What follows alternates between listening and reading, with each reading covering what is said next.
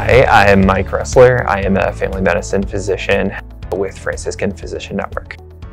I chose a career in medicine because I was exposed to uh, chronic illness at a young age uh, with some family members and kind of learning how it impacted their lifestyle. It uh, sort of uh, provoked my interest in medicine and sort of led me on that path.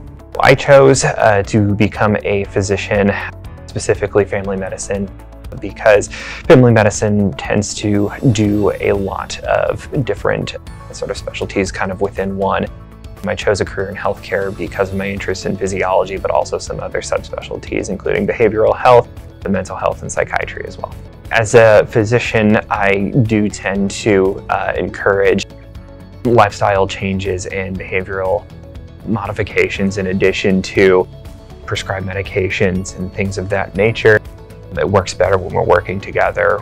I chose to practice at Franciscan Health for the camaraderie. So I did a lot of rotations here throughout medical school and did my residency here at the uh, Franciscan Health. So it seemed like a good fit.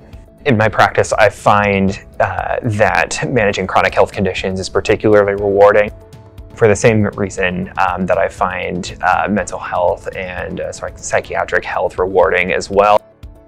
I like the investment and the camaraderie that it builds with my patient panel, um, but I also enjoy doing procedures as well.